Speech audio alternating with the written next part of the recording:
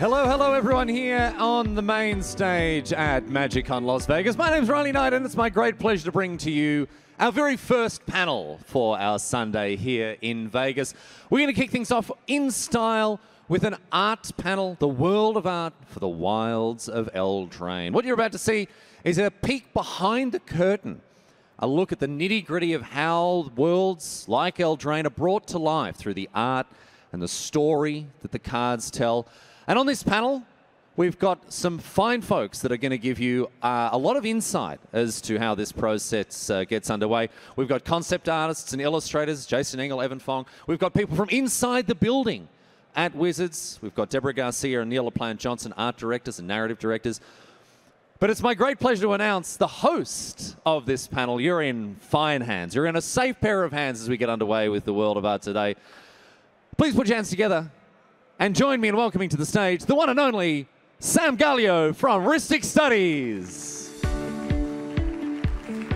Good morning. Woo! Good morning, everybody. I'm so glad you're here. Welcome. Uh, nice 11 a.m. panel in Las Vegas. Uh, this is a perfect way to ease into the day, as is the kind of the brand and the style. We're talking about arts. We're talking about world building, and it's going to be a nice, relaxing uh, conversation. Uh, as Riley said, I have four guests with us, uh, a couple of people that worked on the concept and final card illustrations. We'll introduce them in a second. My goal with these panels is always to give you um, just a couple of tidbits that those those fine level details that when you come here, you can then go and look at some like a, an Eldraine card and say, hey, I know why this fairy is shaped the way that it is. I have a cool insight that this giant is looks different than the giants that we find on other planes. Um, so today's today's talk is all about that. It's all about Eldraine. Um, I'm sure you've seen the Sir Ginger cosplay running around, but that brings me infinite joy. I want you to think of that image um, and sort of the installation that they have over there with the thrones and the food, because this set is very whimsical. It's very fun. It's very silly, and the the gingerbread people are kind of emblematic of exactly that, you know. And what other worlds can you can you eat food tokens, you know, that double as knights? So that's basically the uh, the energy and the sort of feel. And I'm excited to get into the details. So, without further ado, please welcome the um, four guests from Wizards of the Coast to the stage and put your hands together. Let's hear it.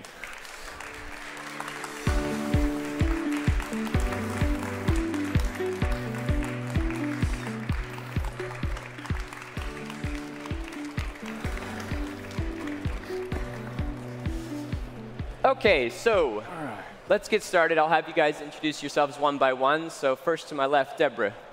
Yeah, um, I'm Deborah Garcia. I'm an art director on Magic's world building team. Um, I am one of the two lead art directors for Wilds of Eldraine. Andrew Vallas was the other art director. He established the visual world building for the set, and I executed that vision through the card art. Wonderful, thank you. Go ahead, Neale. Yeah, my name is Neale LaPlante Johnson. I'm a narrative designer at Wizards of the Coast and the world building lead of Wilds of Eldraine.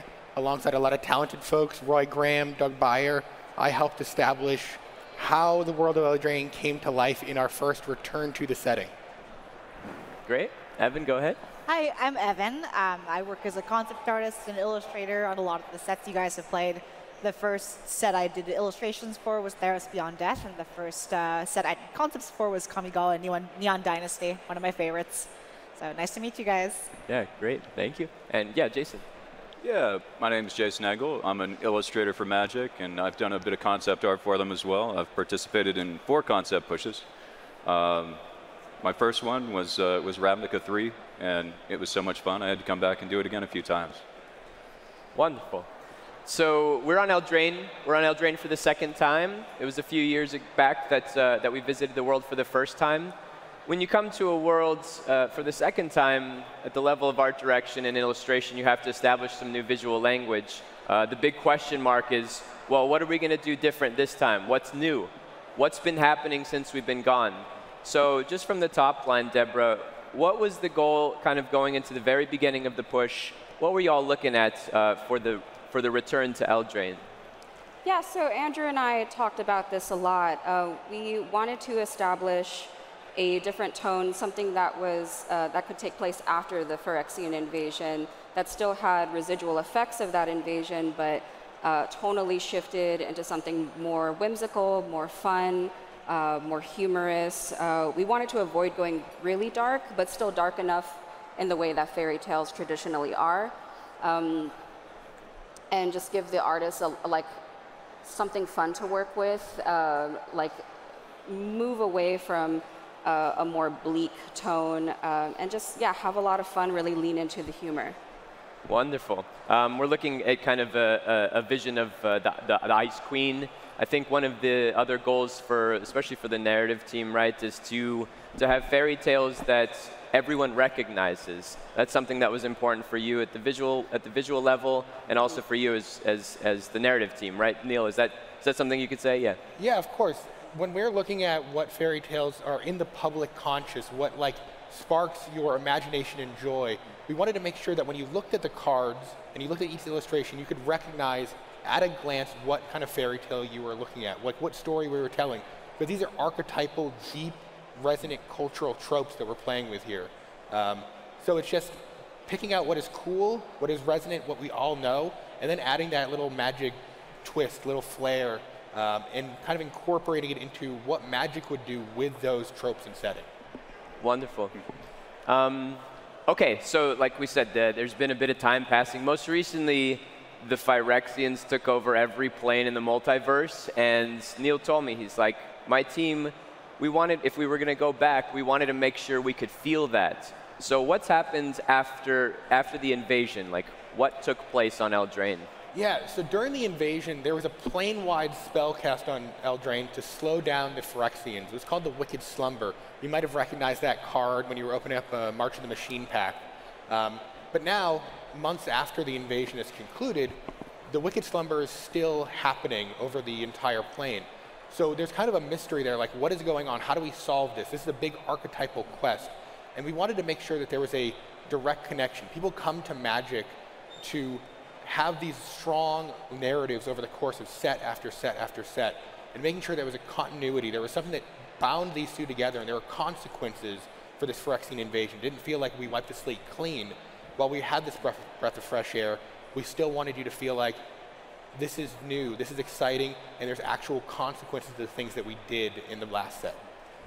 What about at the visual level? Um, how, how do you communicate uh, sleep? It's not very uh, thrilling to show characters, you know, uh, halfway through their slumber. What did you need to do visually to make sure that was communicated? Oh, yeah. Um, Andrew and I talked about how this was one of the really big challenges of the set because we wanted to establish like a visual manifestation for the Wicked Slumber that was you know, tonally uh, like sinister, but still really beautiful. Uh, something that represented uh, the visual through lines of the set. So like it has a like a vine-like appearance. Sometimes like it, it is a manifestation of grief, trauma, and nightmares. So it has thorns. It looks like a like a creeping vine that like uh, sweeps throughout the plane. It affects citizens and how it affects citizens. So during the concept push, I know that that was something that was really explored, that it was a, a that required a solve, uh, that there were explorations into how it affects people physically, like what it does to their bodies, um, their, their faces, and like uh, how it moves them. Like Andrew always said that he never wanted it to look like they were zombies, like mm. uh, that he wanted them to look peaceful. And that's like the, the the sinister nature of the wicked slumber. So a lot of exploration and, and a lot of leaning into the visual motifs. And Jason, Jason, you kind of had to deal with this just pragmatically. It's so easy to talk like, ah, just make them not look like zombies, make them look sinister. But you have to take those words and turn them into, you know, images. What was that challenge like for you? Um, well, it, it, started out pretty difficult, uh, but actually it was Jehan that, that managed to figure out how to do it just right. Uh, it's the, one of the best things about working on concept art on these pushes is the, uh, the collaborative work that you sort of experience working with other artists that are at the just top level of the business. You, uh, you have so much trust in what they're doing, but when you see an opportunity to build on it or to, see an element that almost works and you know exactly what the target is and you just sort of get a moment of inspiration where you can bridge that gap for them, um, you know, that's what the collaboration is all about. Yeah. And again, the biggest visual solve for you is like they can't look dead; they have to look asleep. Right. It's right? very, it's very easy to sort of misinterpret a person who is sleepwalking and say being controlled and trying to fight another character as looking just like a zombie stumbling around. I mean, there's virtually no difference whatsoever. So you really have to, uh, you have to add in certain magical effects to it, and you have to uh, almost make them look more like marionettes, really. Um, because if they look too aggressive or controlled, then they look sort of monstrous, and you just want them to look sort of almost relaxed, but still moving, but you know, asleep. And yeah, it's it's it's a lot of things at once that are not easy to do. I will say that even in this uh, image you're seeing, um, March of the Machine was defined by the color magenta. Magenta was overwhelming in terms of a lot of the briefs. It's a brighter pink. Um, Purple was the visual cue for the slumber, and you can see that at the level of the cards. Even uh, that kind of transcends, goes to the packaging. If you think of Eldraine now, you, you see a lot of purple, and Magic likes to ground, uh, you know, the world in, in, in, a color if it can help it. So you see some of the, the Wicked Slumber. Um, purple was an important part of that visual solve. Um, but like we said, we're back on Eldraine, and fairy tales are the name of the game. Uh, the whimsical fairy tales. So how does this differ a little bit from that first iteration on fairy tales um, for you, Deborah? What was uh, what was that what was that like for you? Well, like from Throne of Eldraine. Yeah, so well, from the first Eldraine sure. set. So yeah. Throne of Eldraine was focusing more on the knights um, and the chivalry of uh, like Arthurian knights. Um, I recall Andrew saying that the like the Fae, for instance, like were a lot more, like certainly not as whimsical. Um, so when we came to um, to Wilds of Eldraine, again leaning into that whimsy for for the like the Fae, for instance, um, across all of the different factions. Um, that goofiness, like we like, and, and that applies to the the different fairy tales as well. We still wanted them to be recognizable for uh, people to have like a, a, a place of reference uh, for all of these fairy tales. They have a very, you know, dark traditional, um, like space that like uh, from like Grimm's fairy tales, but um, like people's exposure to fairy tales over time as it's modernized, um, it gets a, a, little, you know, less dark, a little bit more um, like accessible, and so we're trying to balance that out, like with these, like um, have them be really recognizable um, but still, you know, apply them to the different characters. Um, and, you know, make them cool. Yeah. You know, make them powerful, fun, um, uh, elaborate on their costuming and, you know, their effects and what they can do and uh, how they interact and like references to their stories. And Neale, I mean, just looking at this image, this is uh, this is on the Arthurian Knights kind of side, right? So this is you're looking at the British Isles and and that old yeah. tradition for the first set. Yeah, this is taking place in Edgewall. This is from our um, Pied Piper inspired story with Totentanz and this rat swarm and Lord Skitter, this giant demonic rat that lives in the sewers. Um, and you can see the European architectural influence. Um, but the, the big thing here was in Throne of Eldraine, we had one card fairy tales, which would be something like Lovestruck Beast, where it's like, oh, it's a big creature and a makes a 1-1 human token. Here we had the challenge of let's extrapolate and make everything a massive vertical slice. Like every single part of that gets its own card. So here we're seeing as Totentanz is dragging, you know, is playing his little pipe and dragging people along through Edgewall, we're getting one kind of slice of these fairy tales, which is in contrast to Throne of Eldraine, where this would be the only card we might see. We had Piper of the Swarm, now we have Totentanz and his entire archetype. So very cool. Uh, the next image is a fairy tale you will recognize immediately. I do not even have to describe it. That's something we all grew up with. And again, it's, it's right there with the visual language, right? It's that color of that hood. Jason, you kind of worked with this concept.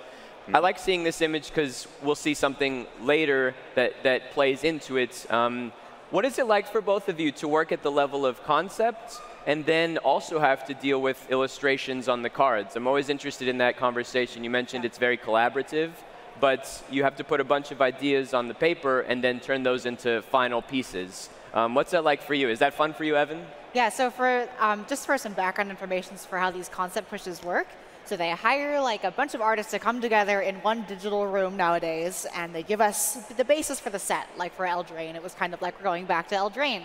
We want to make it a little more silly, a little more whimsical, reference some of these fairy tales that we kind of spoke about in the first set but kind of shied away from. We want to make that like a major aspect of what the set's going to be. So they give us kind of like a very high level overview and they say like, okay, so we need slumber, we need high fae, we need witches, we need giants, right? And we need you guys to think of interesting ways to make these different from every other magic set that's ever been before, interesting to players, and also easy for the illustrators to see in this world guide, which we hand out to them, and then interpret it in their own way to make these beautiful illustrations that you guys see.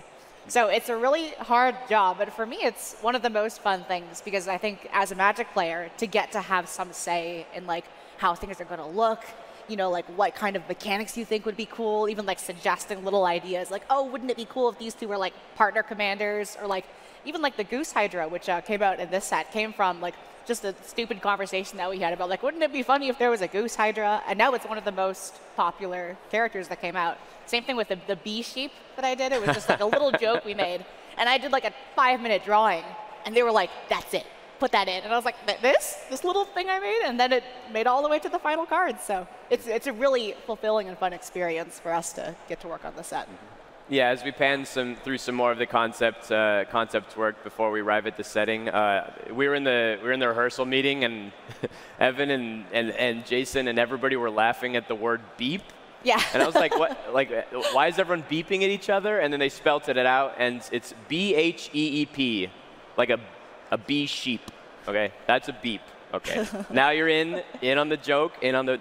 But that's but that's the whimsy that comes from the concept. Like, just have a bunch of ideas throw stuff at the wall, and then sometimes accidentally the big inside joke becomes a yeah. part of the visual solve for the set. So if you see beeps around, now you know how to spell it and what it's all about, right? So, um, and Jason, again, same question, like uh, concept level. Uh, do you like the concept side uh, just as much as the illustration? Like, what's the fun and joy of the concept rush for you? Well, I've I've been doing art in uh, in the games business for about 25 years, and uh, most of that time has been spent doing full illustration work.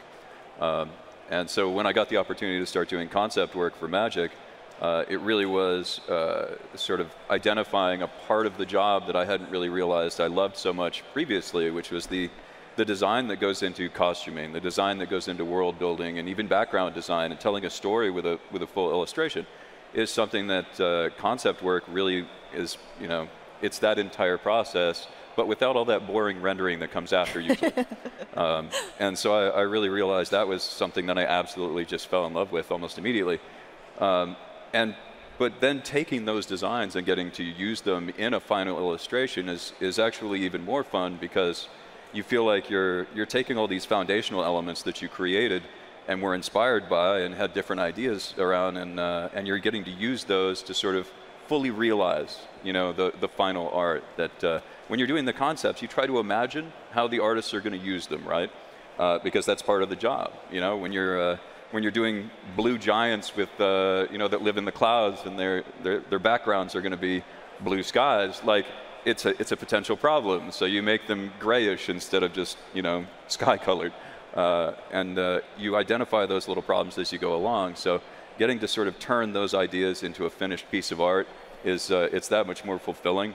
Um, so yeah, it's, uh, it's, it's a wonderful part of the process. Let's talk about the setting. We have to build this world first and foremost. You have to make it believable and lived in. Um, one of the first kind of three pillars of the world uh, is something called the bramble. And we'll find an image of the bramble. But what is the bramble? What's going on with the bramble um, at the level of AD for you? Yeah, so uh, Andrew also called those the briar. Um, the briar was one of the visual motifs that was just very present throughout uh, in, in fashion, in, in costuming, and especially in the environment, uh, like uh, briars, tangles, vines, thorns. It was something that was present in Throne of Eldraine, so we still wanted to work within that space, that recognizability. Um, Andrew really wanted the environments to feel really dense and uh, disorienting, really hard to navigate. And that tangle uh, helped create that sense of like not knowing where you are, but also like inviting a traveler to like move within those spaces, potentially into doom. Um, and it was so disorienting, for instance, that you would not be able to see the horizon. And that's something that's really prevalent throughout the entire set. Cool. Um, another motif that shows up and that helps you instantly recognize we're on Eldraine is doorways. And it might seem silly, like, okay, there's doors on every plane, but doorways, the shape of doorways and arches is a huge identifier for Eldraine. But that carries with it some symbolic meaning, right? Oh, yes, absolutely. Um, curious and dangerous pathways um, it, it, it, really like calls back to that traditional uh, sense of like the curious fairy tale. Um, Andrew said that he wanted it to to reach back into that place of like your childhood understanding of fairy tales, where like you don't know what's around the corner, um, and that you go at your own peril. Mm. So yeah. Yeah. yeah, and it's it's something that we tried to emphasize with these archways is throwing them onto basic lands and making sure that when you open up a pack of Throne of Eldraine, you can play that land and feel like you're stepping through it into this fairy tale, through the briars, into the wilds, like you're actually participating and able to play in this world that we built. Yeah, the the common trope is is the blending of our world into something mystical and fantastic and the incorporation of magic. And the, the doorway and the arch can be that visual identifier. We have to go through it. We have to leave the castles behind. We go into the woods, and the woods are scary. They look scary. They're out to get you. I mean, think of even the, the musical that I cannot name. for legal purposes, but think of that, right? You got to go into the wilds uh, and get into trouble. So that's the third part of like again, the visual language. We're leaving the castles behind. We're, look at that. Do you want to be there? You know? Um, but that's part of the fairy tale motif, right? Right. Yeah. Exactly. Yeah, and when it came to Throne of Eldraine, we had all those Arthurian knights, as Deborah mentioned earlier. Uh, but because of the consequences of March of the Machine and a lot of the castles being destroyed, like Ardenvale and Locthwain, um, we had to be like, let's resituate ourselves. Let's take ourselves out of the knightly realm and into the wilds. So it gave us a great excuse and a great twist on the return to. We got to play with something that was entirely different than the first time you came to Eldraine, while also feeding you Easter eggs and knights wherever we could to make you feel like this is still the same world.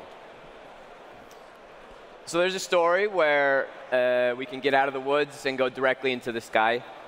Uh, who lives in the sky and why, and how do we get there? These are up in the clouds. Uh, Jason, you kind of took the lead on, on the first creature type of, of this world.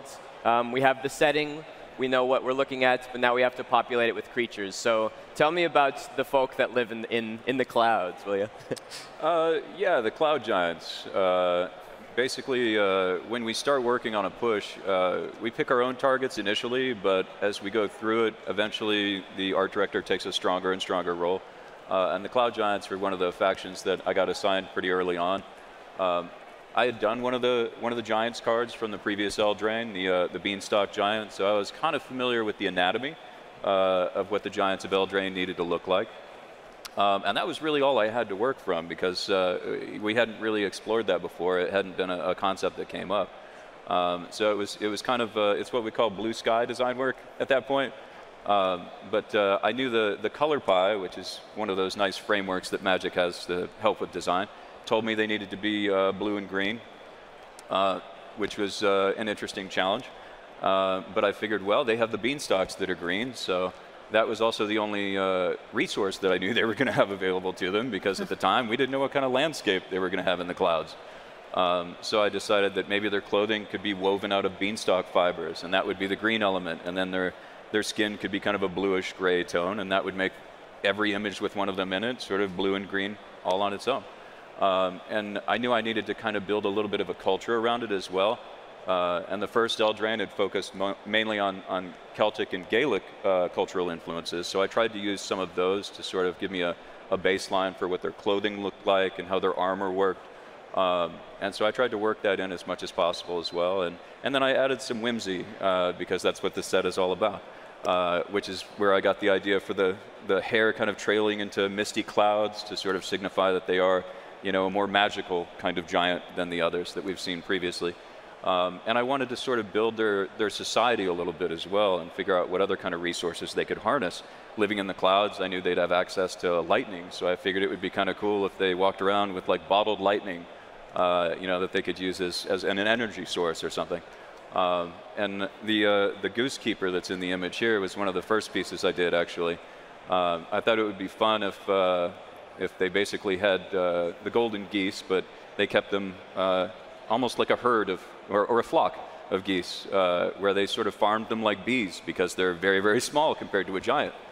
Um, and I, uh, I put a, a, top of a tower on his head because it kind of looked like a beekeeper mask. So it's, it's about finding those visual uh, similarities to other things that sort of communicate a concept in, in short form uh, to anyone that looks at it. And that's what I came up with there. And it, it kind of, it, it sort of helped define their culture a little bit all at once, which was really fun. And when I put in the, uh, the, the, geese as part of their culture, we realized that was kind of an animal type that would be appropriate for living in the clouds with them. Maybe that was something that we'd see a lot more of. Uh, and that's when someone did a, uh, a sketch of the goose hydra, uh, which of course ended up in the marketing material and all of that. And that was really just one of those throwaway ideas that just sort of evolved from various things yeah, you just throw stuff at the wall, and then sometimes it sticks. You're like, oh gosh, I didn't really, I wasn't, I was joking. That was a bit, right. you know. it was like that. yeah. yeah. Uh, art director Zack Stella notoriously hates scale birds. Scale birds, where you just throw some birds to communicate how gigantic this Titan or whatever is. I like that you have other solves with the giants. Um, the cloud giants, like, well, let's have him eating an entire gingerbread house or whatever have you to, to sell that scale. And then, like Jason said, like, instead of a beekeeper's hat, it's just the top of a tower. Um, so, that, so that helps communicate size, right? The giants in the cloud. So uh, any fun tidbits from the narrative side about uh, the cloud giants? It, not so much that Jason hasn't already eloquently explained, uh, but it was super important to have a culture. The first time we saw Eldraine, the giants were either these gigantic, esoteric white giants that are just, you know, realm cloaked and whatnot, or they're, you know, hitting you for two damage. Uh, so notoriously so, yeah. notoriously so. Harsh memories, gotcha. Uh, but here yeah. it's like we had to develop a kind of what do they do in their free time. Eldraine has a pastoral vibe to it. It's fairy tales, and people in this world have jobs. Funny enough, um, they're not always fighting each other, um, and we wanted to make sure the cloud giants weren't just hyper violent or you know uh, antagonistic all the time. You could see them doing mundane things like keeping herds of geese. It's, it's fun. yeah, the mundane, exactly. Just lived in a little bit, and you see that at the level of common cards. It's it's where you find these kinds of details. Evyn, talk to me. You were so excited about uh, the fairies yeah. and all the things going on with the fairies, and like I said at the start, this is this is those details that um, you know you walk around the hall later on and you're like, oh well, did you know that the fairies are designed uh, to be a sort of hive mind creature? And I could tell you why. All right you can walk around with that swagger. Tell me, tell me about, tell me about the fairies, Evyn. Give them yeah, some insight. so it was really exciting for me to work on the high fae for this set because I, as an EDH player, I run a lot of fairy decks, and I was like, I'm gonna make some strong fairies. So you guys can thank me for all the cool fairy decks you guys can have now.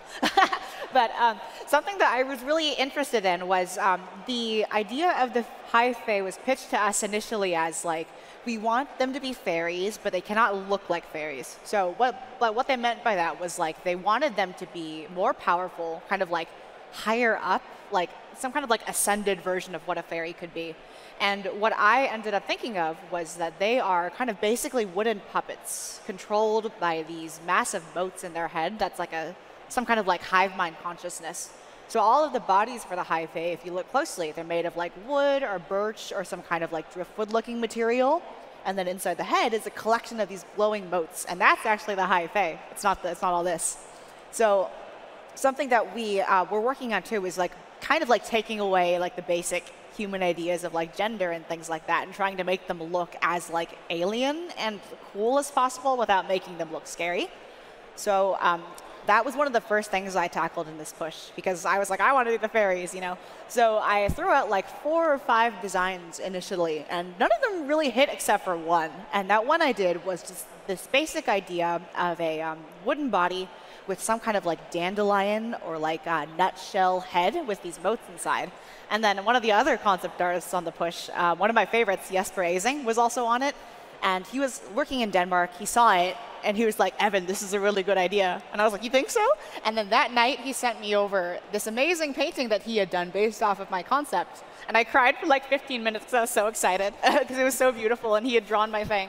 But it basically made it all the way into the final design, just the way that we'd originally concepted it. So that was a really special moment for me. And I really like the high and how they came out. The paintings are great that everyone did of them. Andrew said it was so hard, and then it was so easy. like once you got that idea down, he was like, Yeah. ah, I feel like that's concept art in general is you don't get it for a really long time, and then when you get it, you're like, this is perfect. Yep. You can't change it. Yeah, it's like hiding in plain sight when it's solved perfectly. You also mentioned that uh, you were looking at tomatillo plans. Yeah. right? Yeah. So when um, there's like certain things that are very fantasy-like to me about like berries with like casings, like tomatillos, and I think they're called like ground cherries. These little fruit balls with these little like um, paper-like casings around them, and then when they die, they kind of wither away and make a very similar shape to how those heads look. Also, this idea of like glass apples. I don't know if you've seen this, but sometimes in the winter, um, when water freezes around an apple, the apple will rot and fall out, and you're left with this beautiful, like clear glass apple. So I really wanted to bring some of that, like nature, but like something like really fantasy about it, that feeling into how the Fae look. Awesome. Yeah. So the giants, we have the fairies. Next, Deborah is a, is a creature that's very ethereal and probably at your level very hard to assign. Uh, it's the wisps. What do you do with wisps? Like, how do you, how do you write a description for that? You know? Oh yeah, well the wisps. I mean that was something established, uh, uh, like to give that flavor of the British Isles, uh, that uh, concept of the will o' the wisp uh, as like a, lure or something that you see that can either lead you to doom or show you the way. Um, so in Eldraine, we established wisps um, as something that was inherent to every territory. So, uh, like the boundary lands, for instance, the wisps they're helpful. So they're they hover at eye level and uh, they're helpful. They show the path forward. Um, in the witchlands, uh, they are, hover right along the ground and like emphasize like the muck of the swamp. Um, and they're you know those are lures. They're they're not going to help you. They're going to lead you into doom.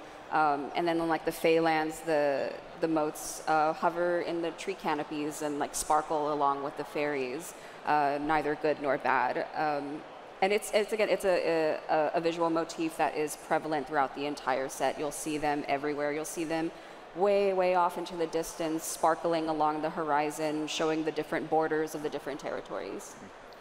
And then in contrast to the fairies, I mean, maybe the wisps are leading us to the witches, who very much inhabit the woods, traditionally speaking. Um, this beautiful image of the ice witch, I, again, I keep referencing the cosplay contest because it was excellent. We saw that come to life yesterday. Um, what's going on with witches? There's a really cool solve, Evyn, um, Yeah. that had to do with Magali, right? You Yeah. guys were working Yeah. behind the scenes in the top, uh, uh, top left, top left of your screen. You see this switch here. Talk to me about that one specifically. Yeah, so one of like one of the coolest things about this push was I got to work with such cool artists like Jason and Magali and Jesper, who's are all people I played with their cards for forever, right, as a Magic player. And I was like, it's so cool I get to work with them. So like getting to bounce ideas back and forth with them was one of the most like cool parts of the set, and I think that's why, in my opinion, the ideas that we came up with are so strong. So for the witches, I came up with this original concept that I had kind of sketched out, which was a witch um, dressed in kind of like a very form-fitting, kind of like um, Disney Disney witch-like dress, and then she had these shattered mirrors on either side of her, and I wanted them to kind of reflect both sides of what a witch is, right? Which is like her transforming into these different versions of herself. So I had an old version, like the old crone, and then a young, like beautiful witch on one side, right? So then it would show both sides of who this person was. And then as she walked, there would be like uh, bits of mirror in front of her so she didn't step on the floor because she was too high, too haughty for that. So I put that up, and then Magali was like, oh, that's cool. And then she posted this beautiful drawing, which looks pretty much exactly like the final looks, with the really cool collar, which solved the idea that I had of like, okay, mirrors, but they kind of float, you know, which wasn't very good. And then she was like, what if they're in the collar? And I was like, that's it.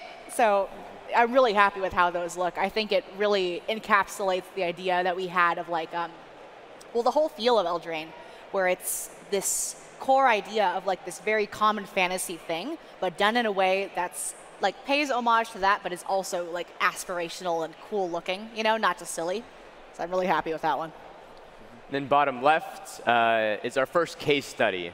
So this, this kind of moves the gradients, right? We have concepts and we have these intermediate il illustrations. Eventually we have to get them on the cards. Agatha. So this is one of your first explicit assignments, Jason. Mm -hmm. What were you looking at? What did you want to What did you want to sell? And um, what do you want to communicate with this this image here? Yeah. Um, well, Agatha was really really interesting. Um, as we got further into the into the push, uh, we started getting more and more clear assignments from the art director. And one of the things that he did was he assigned um, chapters, essentially, which were segments of the story that were inspired by uh, specific folklore uh, and fairy tales. Uh, and this one obviously involves a, a, girl with a red hood and a, and a wolf uh, and a witch in a hut. And it's a, it's a pretty classic fairy tale that we got to sort of reinterpret in magic terms. Uh, so I got to uh, I got to design a big bad wolf, but as a black knight, and I got to design uh, Agatha, which is one of the uh, prime examples of the the kind of new witches of the wilds. You know, as one of the witch queens, she needed to have uh, more of a recognizable face than the witches did in the first Eldraine. She needed to have you know a, a, more kind of royal you know aspect to her and a and a fancier dress. But what we decided early on, and it was actually Andrew's Andrew's idea. Um, was he, uh, he sort of threw out the initial art order, in fact, uh, for the design for Agatha, uh, and said her, her initial name was the Bestial Witch, uh, uh, which is a name they probably knew was going to change. Um, but the concept of it at its core was that she had to have wolf motifs and she had to have control over all these you know, natural predators and she had to have that kind of bestial aspect to her while still being pretty and royal at the same time. Um, so what I tried to do with her was integrate little elements into her costuming that sort of betrayed what she really is underneath her camouflage.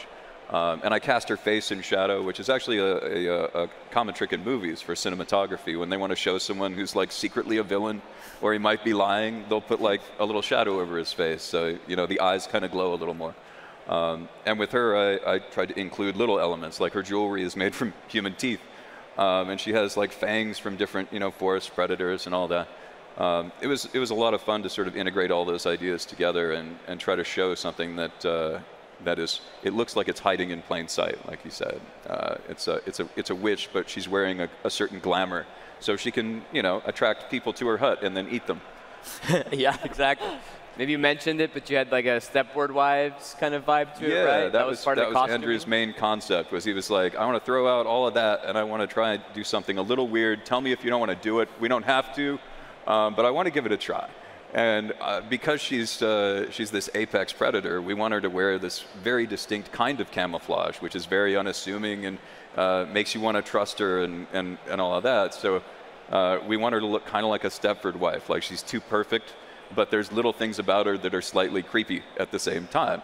Um, like is why that's why she has sharpened teeth, uh, which you don't even notice necessarily at first on the card because it's very small art. Um, and then she also has these nails, which are like very well painted, you know, red uh, fingernails, but they're so long that they're almost like claws. Um, so it was a matter of taking that core concept and sort of stretching it in little ways to match the uh, the core concept.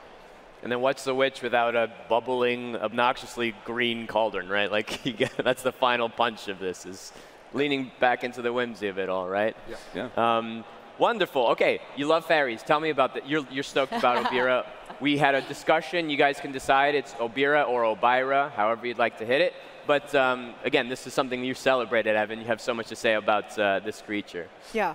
So this is one of the most fun pieces I did for I think all of my Magic cards because I this is one of the few things I like really had control over from start to finish over everything about this piece because I was did so much of the design work for the High Fae initially. And then um, me and Jesper actually passed the key art for this during the push, which is, the key art is like the original kind of um, sketch that we do for like what the card could feel like. And it's done to kind of like hand out to the illustrators to be like, here's some ideas of like the vibe of the set the vibe of this kind of um, class or a kind of creature that we have.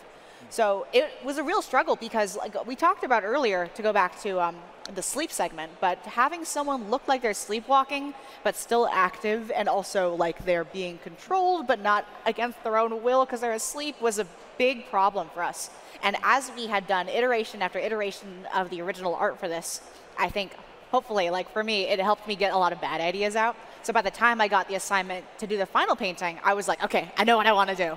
And I um, wanted to have it so the sleep covers her eyes, but just a little bit. So like as we see her from below, you can see that she's just asleep, not in pain, not being controlled. And then her sword is up at the ready, but not too pointed, not too, you know, not swiping or anything, just kind of there. So I think that trying to integrate all of these ideas that I'd gotten from Jason and Jesper and Magali and Jehan and everyone on the set into this one illustration was super fun for me because I could kind of remember like all of the fun conversations we'd had, all of the problem solving we'd done, and all of like the inspiration I'd taken from them along the way, and incorporate that into uh, a piece that I was really happy with. So like you can see too that like a lot of the inspiration I took for the cards I did for this set, not just uh, this one, were based off of kind of very old uh, oil painters. And one thing I really wanted to do was show the texture and show like how things really felt. Because when I look at old fantasy art, like um, storybook art, or like Arthur Rackham stuff, or things like that, something that I and I think a lot of the other illustrators for this set were really excited about was kind of bringing that fairy tale feeling into the modern era and using all the tools that we have in digital art or modern oil painting to convey the things that we love about old fantasy art in the modern car illustrations. You mentioned the weapon. That's a that's another detail from the concepts level, right? It's the sword that she's holding. Yeah. What's going on there? Oh, so she was based off of the idea of the sleeping the sleeping princess, right? So the sword, if you look closely, is a spool of golden thread. So I kind of combined the ideas of Rumpelstiltskin and like the original like old uh, fairy tales and uh, combine them into this illustration. So the sword is both magic, which I think you saw in the earlier concept sheet that we had. All of the high phase weapons are just an, an item, like a rose, a branch, a stone, but they kind of grow out with magic into this whole weapon, into this whole item. So hers starts from a spindle, and you can see her holding it and the gold thread trailing off, and it comes out into this long fencing rapier. Super cool. Um, the next card is my favorite card in the set from the level of naming card names. It's Cruel Somnophage.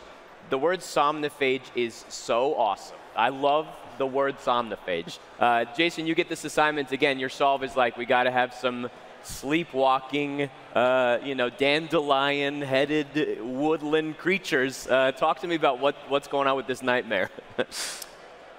uh, yeah, well, one of the uh, one of the assignments I got uh, during the push was also the, the nightmares. We needed to figure out what they looked like. Um, and they, uh, they were kind of an interesting challenge because the, the only real uh, instructions that I had for it was that they, they could, potentially, if I wanted to, um, have the silhouettes of the Phyrexians to sort of carry over that theme into the, into the set because we wanted to show at least some residual uh, sort of visual references that the Phyrexians were here and they left their mark on things. Um, and with the nightmares, we figured we could integrate it a little bit because they were kind of a physical manifestation of the fears that the people have. Because the, the entire kingdom is asleep, so these creatures are sort of lurking around and sort of preying on all of these, you know, dreaming people. Um, but the design for them, I wanted to sort of look like almost eyes in the in the shadows in a fairy tale, uh, you know, where it's like monsters just sort of blinking from the forest at you. Um, so I wanted that to sort of define their visual look. Like I, I, imagine them living in pools of shadow and sort of striking at people when, when they least expect. Um, but they also are, are, faceless, you know, like the Phyrexians. They have asymmetrical body anatomy, like the Phyrexians. They have lots of spikes, like the Phyrexians. Um, but they also integrate uh, other designs as well, like uh, creatures that or monsters that are just local to the, the people that, that live in this region that they would have nightmares about. So it kind of informs their physical anatomy. You know, evil wolves and uh, you know scarecrows and all of those elements were integrated into the monster design as well. So for this piece, I got to use one of the creatures that I spent all that time working on their, their core design and sort of you know fully realize it. And I, uh, I added little textural elements and. Uh, it was a neat piece to work on specifically, though, because it integrated so much of what the set has in it that's like visually identifying for this set. The Wicked Slumber itself uh, is you know coiled around all of these high fae, which are another one of the main factions of this set. One of the nightmares is just like you know, hovering over the entire group, just sort of like, I don't know, eating their dreams or something. Um, I mean, it's, it's just very emblematic of the story of where Eldraine is at during this time. And, And it's really kind of pretty too. Yeah. Yeah. Yeah. And uh, let's not undersell that you had to paint a castle in the background too, right? To give us that leverage, the, the, the gazing up at this gigantic creature. Um, I, I have to admit, I love this next painting the most, Evyn. Uh, it, it, it sold and it hit so many notes. Um, this is Sharae. Um, this is super cool. Uh, talk to me, but this is a merfolk. We, we didn't speak specifically about merfolk, so maybe some insight from the concept. But what's happening here with Sharae? Yeah, so the merfolk were also fun for me because the two things that I always ask the art directors to give me are fairies and merfolk. Those are the two things I want. I build those decks, I like those arts, I play those cards, you know. So I'm always like, hey, if there's a set with fairies and merfolk, can I, you know, can I, can I be on that?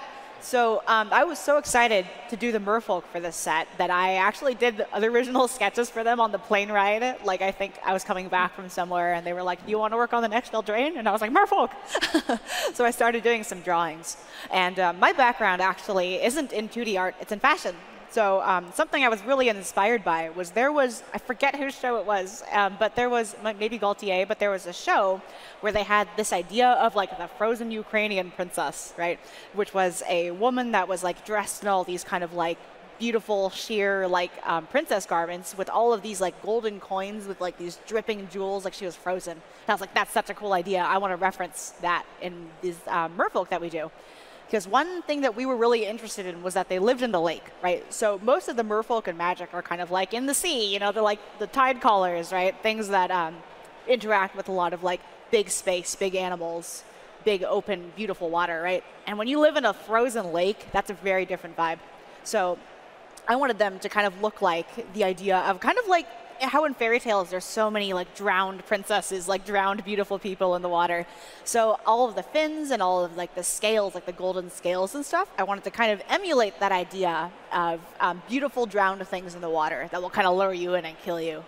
So for this painting of Sharae, I uh, wanted her to really feel cold. So I toned down the color palette. I kind of like forced myself to work in this very restricted area to make it like to make the idea of, for the concepts that we had come across of her being in this frozen lake, beautiful but threatening, you know, freezing the lake on top of you. So, Oh, yeah. Just as a little art Thanks. director gush, I do remember uh, uh, working with you, commissioning this, and you talking about how cold you wanted it to feel, Yeah. how deep and dark, and uh, watching you like build the frost, but also like incorporate the gold coins uh, like more evenly throughout. It really balances the color palette. Oh, and I just thought it was so successful. Thanks. Yeah, one funny note for this is anyone, uh, do any of you guys play Minecraft? Okay, so you know when you're in Minecraft and you fall into a snow block and then it starts freezing and your screen gets those like cracks as it comes in? That was the idea for how the um, how I wanted it to make it feel extra cold. Like you're looking through a screen at her and it's kind of cracking up on you. You know. Whenever I do alters on this card for people, I kind of draw the cracks into the rest of it, so it feels like Minecraft. Yeah, like uh, Deborah mentioned, it's frigid, it's freezing. You have this overwhelming uh, light blue, you know, cerulean hue to it, but the gold accents really Yeah. give it some depth, uh, pun intended. And then mechanically speaking, of course, that's exactly what the merfolk do. If you know what the card does, right? It's supposed to freeze and lock down creatures for a turn. So flavorfully, we're, we're pulling you down into the lake, you know, and lakes and fairy tales are not a happy place. Um, this, this painting, I love it. Even just the split of the, of the tails, right? Traditionally, merfolk have one long tail, but this veers off and it sort of frames the figure in a lovely way. So, uh, yeah, this is one of my favorites from the, from the set. Yeah. Before we open the Q&A, I have a very simple question uh, for each of you. What was your favorite solve? Like, how are you looking back on Eldraine now that it's out in the wild? Um, what, what are you so? What are you proud of? I mean, maybe, yeah. What, why don't we start with you, Deborah? Go ahead. Oh, I, I keep bringing it up, but again, the humor. Um, Andrew and I talked so much about that because one thing we wanted to emphasize is that people here can be happy, Cool. um, that they can have lives. They, they have to move on. They can, they can grieve and they can experience their trauma, uh, but they also have to live with it and they also have to keep, you know, moving one foot in front of the other. And it was a, a, palate cleanser from the uh, Phyrexian invasion. And asking the artists to like have fun with it and to to like really lean into like uh, expression and like uh, like body elasticity and like physical humor and emotional storytelling. And I think that was like I'm really really proud of how successfully integrated that was with the entire set. Cool. How about you, Neale? Yeah, I'm just so proud of the conceptors and artists navigating what might not seem like it, but a very difficult set in that we had 10 stories we had to tell. It's not often that we're thinking uh, of a set as 10 distinct different stories that we're trying to have a narrative goal for. So I was just so impressed that when we were giving these to artists, they understood how to just cut apart each story into perfect illustrations. So when you arrange them in your draft deck or in your sealed pool or in your commander deck, you think, oh, I'm playing this story. You get to immerse yourself in the world and you know play with the fairy tales. Uh, mix and match them if you want. But we we just accomplished something that I didn't think when I was doing it anyone would notice. And then when it came out into the wilds, I was like, people understood. So I was yeah. so proud of that. Awesome. Yeah. Okay, you think I'm gonna say fairies, but it was the bee sheep. I think like coming up with an idea that's like just like good is so hard. Like, because if you don't have to like visually, ex- like, you can draw anything good, right? But like, in order to come up with an idea where you're like, that's a great idea, I feel like that's so rare, even for us as concept artists that do this all day, you know? And I think that combining, because it's a specific type of sheep. If you look at those bee sheep, it's these little cute, like they're like the Wallace and Gromit sheep, right? They have these little black bodies, these super furry heads, and you can't see their eyes. So in order to make a bee sheep not creepy, right, it's actually kind of hard. Like I think if I asked like a bunch of people to draw a bee sheep, we'd come up with a bunch of like Phyrexian horrors, you know? So to like, come up with something that's cute, like it makes sense, everyone looks at it, they're like, oh my god, that's so cute. It's a bee sheep, you know? And you don't, you no words, no explanations, just good. And I think that's so rare for me that I'm still really excited about the, the beeps. I, don't, I don't mean to correct you, but the correct terminology is beep yeah, okay, yeah. yeah the, beep. the beeps, you know? Beeps. Yeah. Jason, yeah, how about you? Uh, well, I think probably my favorite was the, uh, the work that I ended up putting into the dwarves because they were a, a faction from the first Eldraine set. Um, and they had a little bit of concept art behind them, but not as much as you'd expect. And they had a few cards that you know ended up in the final art, which actually helped define them a little bit better. But there's still uh, a lot of work that we had to put into them to sort of you know get them where they needed to be because they weren't just the dwarves as they used to exist. They were the dwarves in this kind of new world where the world had almost ended, and they sort of had to reevaluate living life uh, just being a miner all day. You know, they, they, they had a society built around a kind of traditional folklore dwarf. Uh, so they spent a lot of time with a, a pickaxe in their hand and not a lot of time enjoying life. Whereas now they sort of realize that, you know, life is short and it's time to enjoy yourself. Um, so we were calling them the party dwarves, uh, and that was because they're basically the uh, the Cinderella's ball, and their their party needed to be uh, sort of adapted from uh, the practical tools and elements that they had laying around their their dwarven kingdom, and their uh, their halls, you know, needed to be kind of dressed up for the for the occasion. So there was a lot of room for interpreting stuff in a really in a really fun way. Um, and when uh, when Andrew assigned the the dwarves to me, he was like we'd all been sort of taking stabs at it. And he was like, so I, I want somebody to really use their sense of humor on this one. So Jason, you should take a shot at it um, and just get really silly with it. So I did. Uh, and it was incredibly fun. And a lot of it, you know, ended up in cards that I didn't expect it to. The, uh, the minecart racer was one that I came up with. Uh, I just thought it would be funny if they were sort of repurposing mine carts to have some sort of a party game. Yeah. Um, so that that was that was a lot of fun. It, it was uh, it was just being fairly silly and sort of exploring, and a surprising number of ideas ended up getting into the into the final. Yeah. Also, the Mintstrosity was one that I did not expect to get through. uh, that one I originally called something like a peppermint predator, and I knew that was going to change. Um, but uh, but yeah, the, the candy monsters were one of those things where we were working on it and we were like, this is never going to get into the set. But it ended up working out just fine. Yeah, I don't think you knew this, but when you were working on those dwarves, like me and Jehan were together working on that push at the same time. And then every time you posted something, we'd be like, hey, come look at what Jason just posted. Because it was always amazing. It was so funny. And like, I feel like it was like so rare to see someone like getting to do that kind of stuff on a magic push. Because usually it's like serious planeswalkers fighting each other, you know, not like right. dwarves partying, you know. So that was really fun. yeah. Yeah, this push had a lot of room for just having fun and, and getting a little bit crazy with it because um, yeah. the, the modern fairy tale has so much room for whimsy combined with the, the darker edges. And it gave us as artists a lot of, a lot of tools to build with all at the same time and, and come up with just a, a, a fun combination. So I lied to you. We don't have time for Q&A. Sorry, so sorry. Um, but my last announcement before we go is, um, of course, they are um, both Evyn and Jason are here today. This is our last day at the con. They're at their booths. If you have a specific question from the level of concept, I'd love for you to just stop by the booth and ask it there. And um, of course, if you have cards to sign, that's also great. Um, as you can tell, they have a ton of fun. Like it's, so, it's such a joy to jump in these meetings because they're already they have all this stuff that they've been working on for a year or two in, in, in, in the works, and we finally get to talk about it. Um, can I have one warm round of applause for my guests, please? That was really wonderful. Thank you.